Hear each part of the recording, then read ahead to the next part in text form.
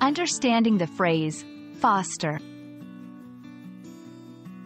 Hello everyone. Today, we're going to dive deep into the English phrase, foster.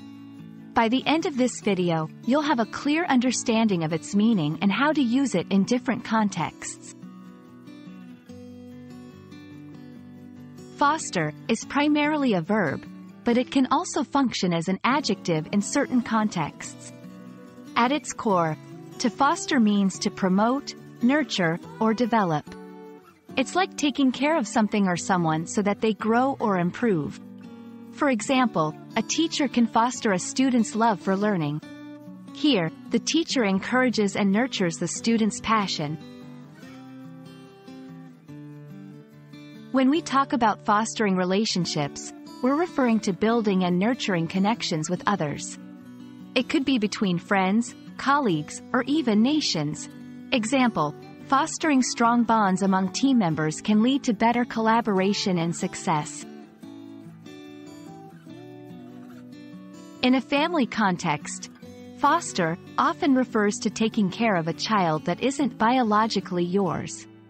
A foster parent is someone who looks after a child temporarily, providing them with a safe and caring environment. Example, Jane became a foster mother to two children after their parents could no longer care for them.